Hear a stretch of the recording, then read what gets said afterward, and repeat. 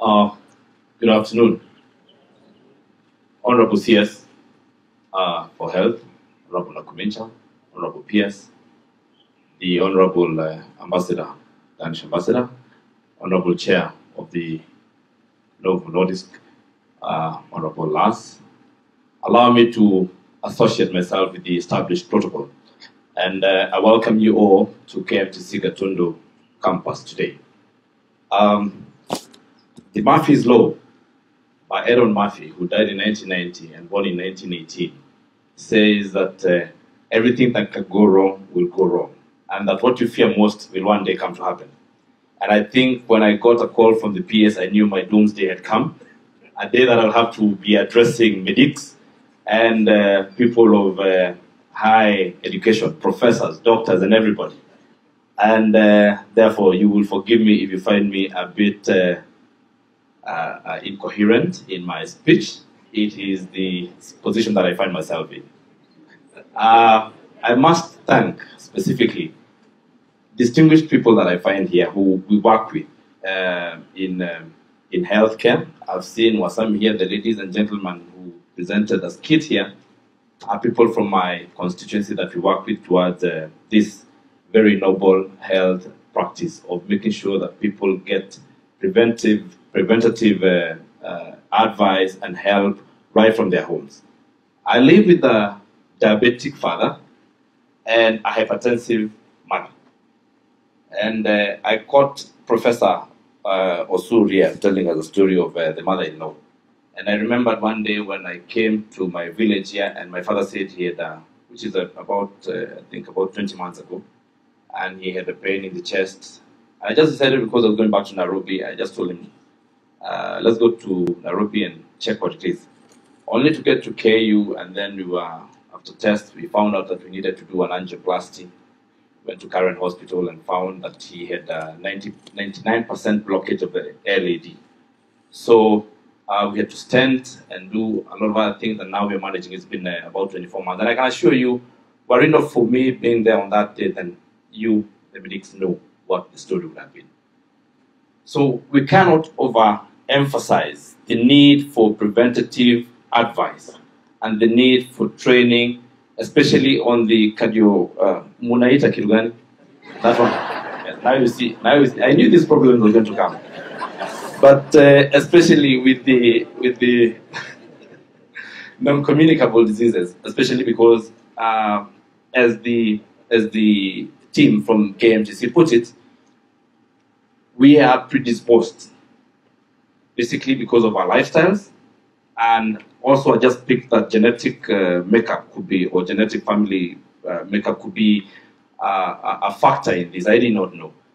Uh, therefore, when I see this and I see you, uh, Mr. Lars, about a partnership to help us train our people, create capacity, then uh, I know we're headed in the direct in the right direction, and we have friends that really care for our people.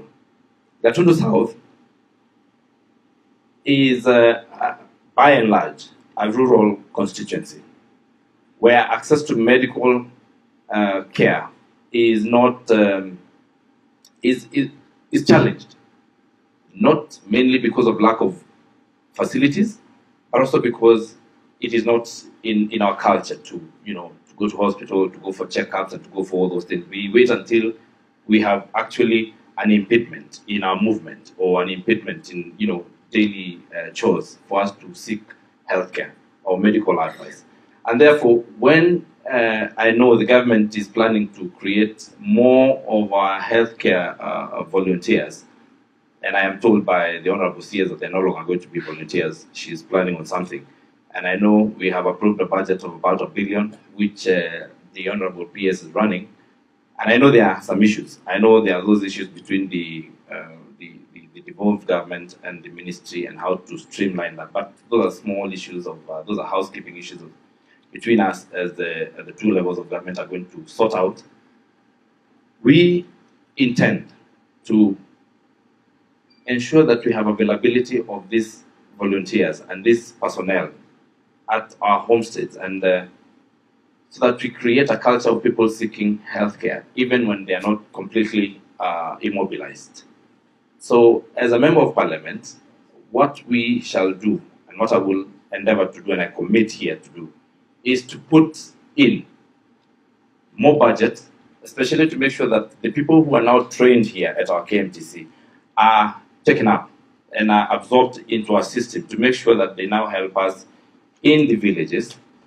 Because, uh, and I know, and I know the work that is happening here because uh, uh, Daktari, you know, we have been with the principal Liam Mutua, tumetembea safari na and uh, now we have uh, our new gentleman here we are going to continue working with. I know we have had challenges of uh, infrastructure. I have put some uh, aside some money to uh, for this current year to make sure that I know we have a shortage of classes here. We have already discussed that we are doing two classes to make sure that you you know there's no more congestion. And I commit to make sure that we put more money in healthcare. I'll tell you this: I come from a tea growing area where, because of the uh, of, of, of the nature of work, then our farmers uh, get arthritis and many other diseases that uh, come together with being in very cold areas for a long time. And I can tell you the challenges we get before they get to this hospital is the diagnosis. And a lot of times, uh, you know, we have a huge challenge in that. So what you're addressing in this partnership is the soul, is the, is, is the most intricate part of our medical uh, uh, ecosystem. And therefore, I trust that uh, we are going to be alleviating our people from a lot of trouble and from a lot of pain and from a lot of, uh, you know, troubles of losing their, their loved ones where it could have been prevented. I also know that um, we have some challenges at the hospital because of how the cover and the, the you know, the medical cover has been, the social cover has been. Uh, you know, uh, CS that we are working really hard to make sure that we, although albeit with challenges, but you know, as a government, we're trying to make sure that we get everybody covered because this goes to the list of the people in our society, and these are the people that we must really address because they're the, the they're the cog of the machine that makes sure that our economy is, is running. So all I can do is uh, give a commitment that we shall support this program with my own little mega resources at the CDF and also at the national level. And so we Cabinet Secretary for Health, Nakhumicha Susan Wafula. That's how she likes her names. Ordered. She is very particular. Principal Secretary for uh, Health, uh, for Public Health, uh, Mary Muthoni. Member of Parliament, Gatundu South, the Honorable GG Kagombe, our partners from Denmark and Novo Nordisk, leaders of this hospital, I think the chairman, uh, Mr. Njinji is also around, na watu wa Gatundu, hamjambo, hamjambo tena, salimiane kwa mkono, asante sana. I am very delighted to be here. And uh, the CEO has been harassing me, Susan, about this day. And uh, today, you know, I was sure I would not be available because you, you know the exercise that we were doing on the government road show this morning. We were with the uh, CS Professor Kindiki in interior, and just now with the Machogu, Ezekiel Machogu in education. So I was sure I would not be available. But uh, I want to tell the CEO, as fate would have it, uh, how can you say no to Susan Nakumijashwari? So I found myself here. Um, I, I welcome Susan. The last time we were in the same function, it was in Kitale, where you come from. And now that event had nothing to do with you, with your ministry. It was my ministry. But I, you said you have to come. And now that you have got your own event in my own hometown, not just in your home, own hometown. Some people say that I am problematic. And maybe they are right. So if you believe that I'm problematic, this problem started here. Because this is where I was born, in this very hospital. Where, where, where we are. So it's, it's a great day for me on, on several fronts. Not uh, one principally because you are here Uh, but second thing, because of this institution, uh, in the year 2015, as a new member of parliament, I, I had a dream that we can have a KMTC here. And we didn't have money, we didn't have a building. We just took on some classrooms here for uh, some building renovated. We had a classroom. I remember when we admitted the first 40 students, and I didn't even have an idea where they would they would they would spend the night. So I, I took some my money and I went to the market here. I bought some mattresses and I they, we put them in Gatundu Primary. So the first accommodation for KMTC was actually in Gatundu Primary School where where walilala hapo. Today I don't know principal. I don't know how many students we have. 830 later.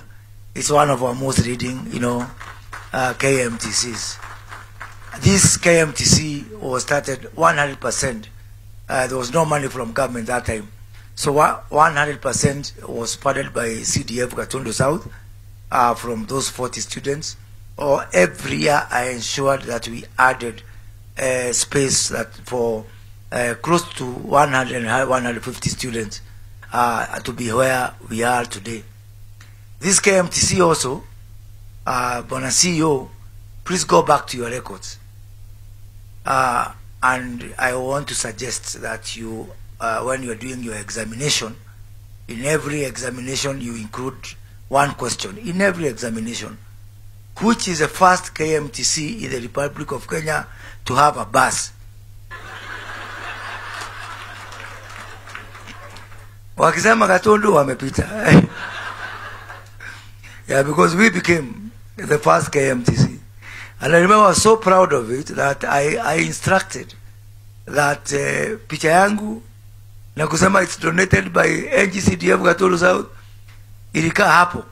For a whole two years mpaka uchaguzi ya 2017 watu wakaleta magerere sasa hii nikaondoa. But I remember uh, one time our student went to Eldoret uh, for some some festival huko.